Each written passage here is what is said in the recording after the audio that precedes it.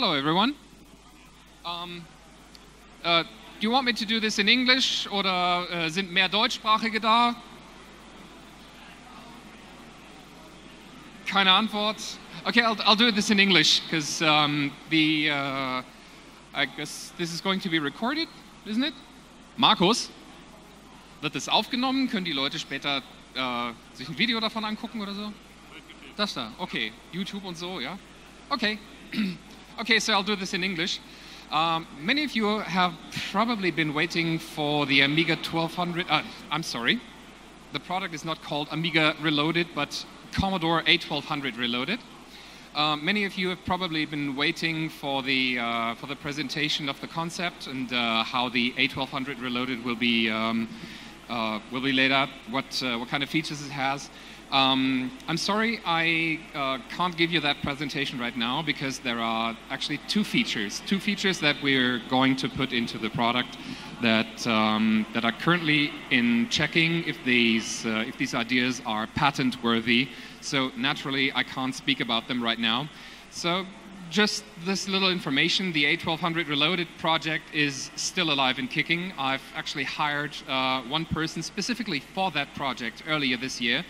And um, he's doing um, not just development, but also um, product, uh, product management. So he, he can even um, add or remove features from the project um, in order to make it more um, appealing to the customer, hopefully. Um, I know I got a lot of criticism about the um, uh, A1200 Reloaded as it has been announced uh, two years ago when uh, I wanted to have um, the board really, really um, downsized for a really, really low price. Too many people have been uh, have been asking for something that uh, has a little bit more features from the uh, from the start, and that's what it's going to be. um, but like I said, I'm, uh, I can't give too many details right now. So let's talk about things that are in the not so distant future. I've had um, a lot of uh, requests lately. These, these past months, um, I think it started sometime in summer, when customers have been asking for an IDE solution for Zorro. Um, too many people have been buying something that either only works in the 2000, only works with a certain Kickstart version, and uh, um, requests came in for something that works with Kickstart 1.3 and uh, maybe even with a, with a 2.0 that uh, um, is installed in Amiga 3000. And uh, long story short, we are going to make new Buddha controllers um, I have one prototype with me over at the table. Some of you, I've, I've, I've, seen a lot of faces already. Some of you have already held it in their hand. These, uh, these Buddha controllers have exactly the same specifications as the, um, as the old Buddha controllers had it 20 years ago. And 20 years is exactly the number. In 1997, to be precise, in February 1997, the first Buddha controllers came out. So today, 2017, 20 years later, the name is of course the 20 year anniversary edition. Um, the price tag is almost the same as back in the days. Back then it was 100 Deutschmarks, and today it's going to be 55 euros for a controller that has the capability of auto booting starting from Kickstart 1.3 it works in a 2000, 3000, 4000, or even the tower models, any computer that has a Zorro slot.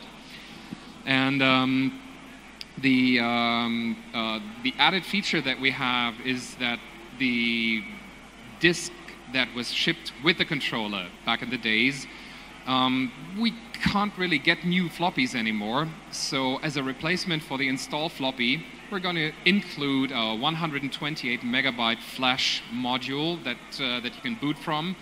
And that not only includes the Buddha install software, but also all the Workbench versions that have ever been there um, 1.3, 2.0, 2.1, 3.0, 3.1.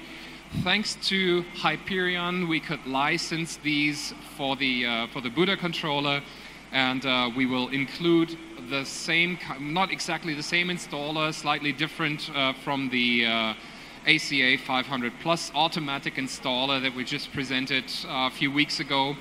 And um, that will really make uh, reviving an Amiga 2000 system and, and, turning an Amiga 2000 system into a hard drive or flash-based system will make that really easy. So um, this new Buddha controller will go on sale hopefully just before Christmas. Um, production is already running. I can't give a precise release date right, uh, right now, and as many of you already know, I have a very strict policy. I'm not taking any money for anything that I can't give a precise uh, release date for. So please just monitor our news um, uh, for the start of the, um, uh, of the pre-orders. I already um, saw some faces, some people like, yes, sign me up for two. but uh, yeah, like I said, I'm not going to take any money unless I can give a firm release date, and that's probably going to take until late November until I have that. So, um, since my talk is lacking the main presentation, I would just uh, make it short, say uh, a real big thank you to everyone in the community for letting me be part of your community you are letting me do what I do, and I love what I do. And um, you're the reason that I, uh, that I can do it, so thanks a lot. Um, I have um, really, I've had a lot of fun talking to many people of you. Some of you have shared uh, very personal things with me. Um, sometimes I hear a lot of Amiga stories. Sometimes I hear stories, personal things that uh, my, my hardware or the way I work has, has had a, a positive effect on, um, well, on, on, on, things that you do. And um, uh, sometimes I get, uh, uh, I get stories from, for example, for a wife who says, I, I wanted to buy my husband who is recovering from surgery, I wanted to have him something nice.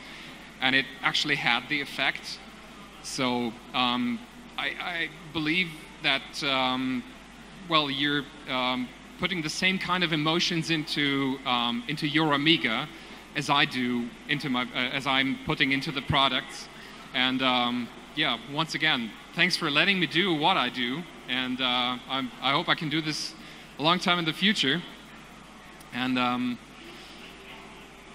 well, that's it. Thanks a lot. Thank you.